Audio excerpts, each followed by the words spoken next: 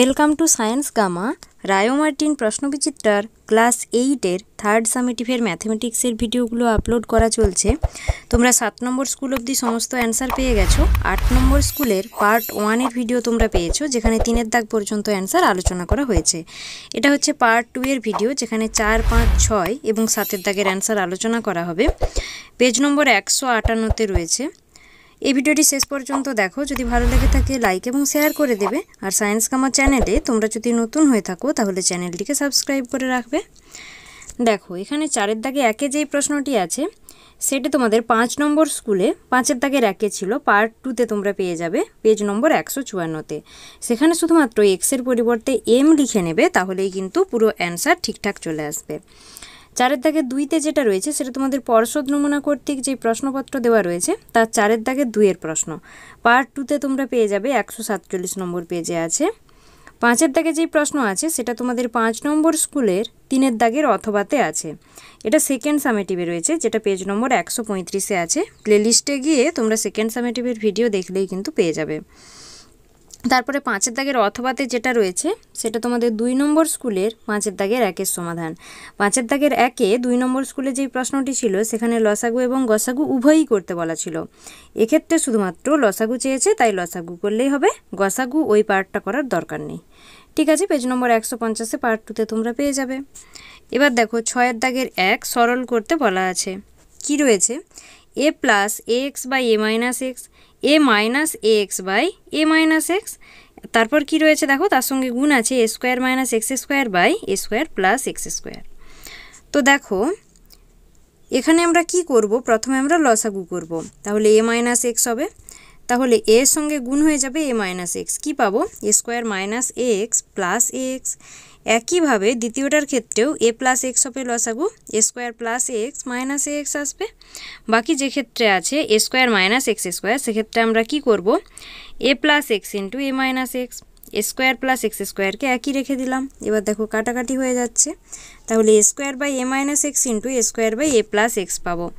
তার সাথে গুণ কি রয়েছে? দেখো a plus x into a minus x তাহলে এ প্লাস এক্স কেটে গেল এ মাইনাস এক্সও কেটে গেল। কি পাচ্ছি আমরা? এ টু দি পাওয়ার ফোর তার সঙ্গে কি আসছে? হরে রয়েছে a square plus x square তার মানে a to the power four বা x square plus a square এটাই হয়ে যাচ্ছে আমাদের সরল মান, তাই এটাই আমাদের অ্যান্সার ছয়ের দাগে দুয়েরটা দেখো, এখানে বলা আছে একটি আয়তক্ষেত্রের ক্ষেত্রফল চব্বিশ এক্স স্কোয়ার মাইনাস পঁয়ষট্টি এক্স ওয়াই প্লাস একুশ ওয়াই স্কোয়ার বর্গ সেন্টিমিটার দৈর্ঘ্য বলা আছে eight x minus three y centimetre তাহলে প্রস্থ কত হবে নির্ণয় করতে হবে।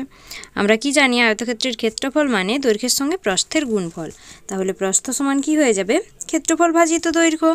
এবার eight x minus three y দিয়ে আমরা ভাগ করব কাকে? চব্বিশ এক্স স্কোয়ার মাইনাস পঁয়ষট্টি এক্স ওয়াই প্লাস একুশ ওয়াই স্কোয়ারকে দেখো এইট এক্সের সঙ্গে যদি থ্রি এক্স গুণ করি, চব্বিশ এক্স স্কোয়ার পাবো। মাইনাস থ্রি ওয়াইয়ের সঙ্গে যদি থ্রি এক্স গুণ করি, তাহলে আমরা কি পাবো? প্লাসে মাইনাসে মাইনাস নাইন এক্স ওয়াই এবার দেখো সাইন চেঞ্জ হবে। তাহলে এখানে মাইনাস হলো, এখানে প্লাস হলো। এই দুটো কেটে গেল।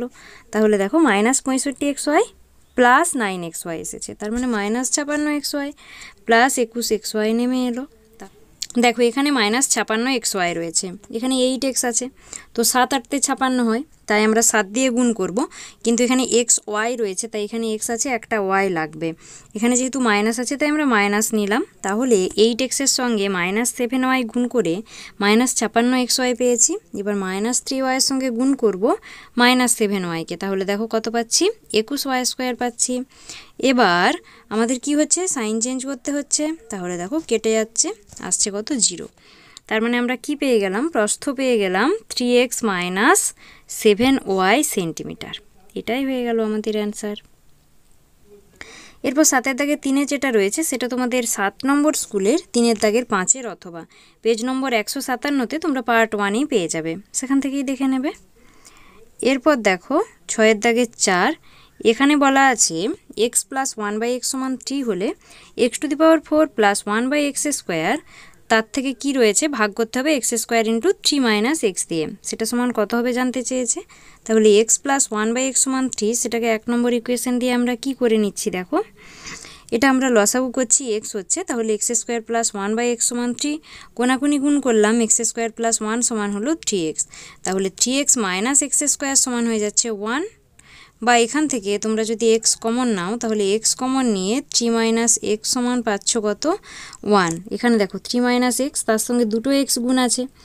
একটা x into three minus x তার পরিবর্তে আমরা কত বসাতে পারব? ওয়ান বসাতে পারব। দেখো তাহলে এবারে।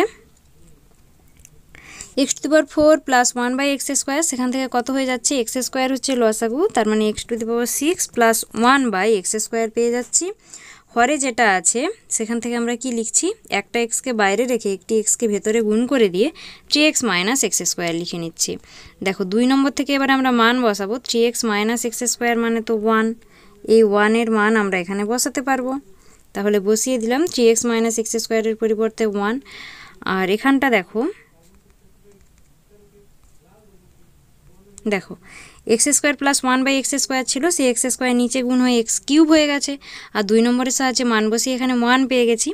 তার মানে এক্স কিউব দিয়ে উভয়কে ভাগ হবে। এক্স টু দি বা সিক্সকে যদি এক্স কিউব দিয়ে ভাগ করি, এক্স কিউব পাবো। ওয়ানকে এক্স কিউব দিয়ে ভাগ করলে ওয়ান বাই এক্স কিউব হয়ে যাবে।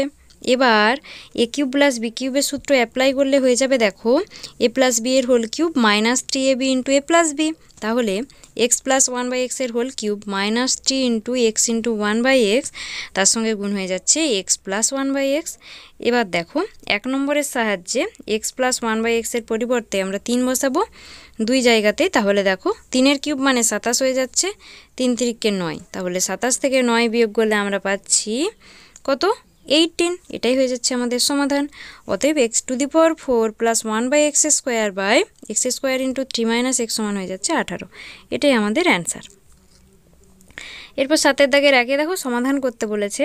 এটা তোমরা আগেও সরল করেছ, যেখানে সমাধানে এদিকে জিরো দেওয়া আছে, সেক্ষেত্রে শুধুমাত্র মান নির্ণয় করতে যেখানে এক্স আসতো অ্যান্সার যাই হোক, এখন তাহলে দেখো আরেকবার, যেহেতু সমাধান করতে বলেছে।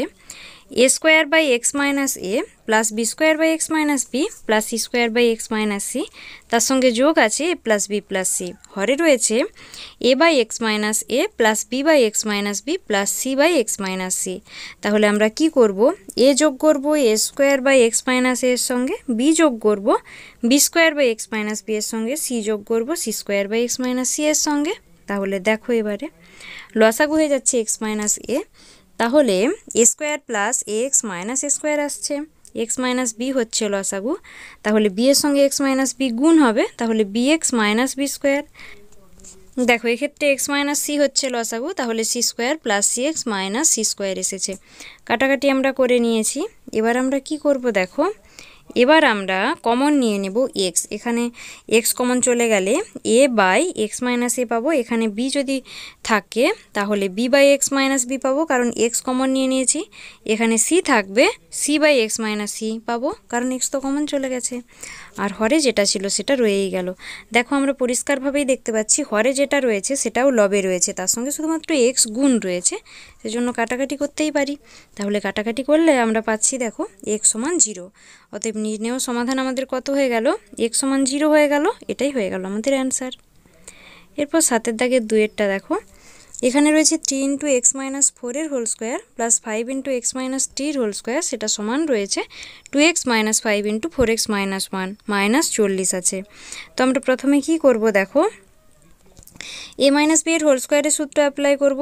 তাহলে দেখো a square minus two a b plus b square হয়। সেই জন্য x square minus eight x plus ষোলো হলো। এক্ষেত্রে দেখো এক্স মাইনাস থ্রির হোল স্কোয়ার মানে x square minus six x plus nine আসবে। এই দুটোতে গুণ করেছি। এইট এক্স স্কোয়ার মাইনাস কুড়ি x minus two x plus পাঁচ এসেছে। মাইনাস চল্লিশ যেমন ছিল, সেটা আমরা রাখলাম। এবার দেখো তিনের সঙ্গে গুণ হবে x square minus eight x plus ষোলো। তাহলে থ্রি এক্স স্কোয়ার পাবো, মাইনাস চব্বিশ এক্স পাবো, তিন ষোলো আটচল্লিশ পেলাম। একইভাবে পাঁচের সঙ্গে গুণ হবে x square five x square, পাঁচের সঙ্গে মাইনাস ছয় গুণ হলে মাইনাস থ্রি সিক্স পাঁচের সঙ্গে প্লাস নয় গুণ হলে হয়ে যাবে পঁয়তাল্লিশ।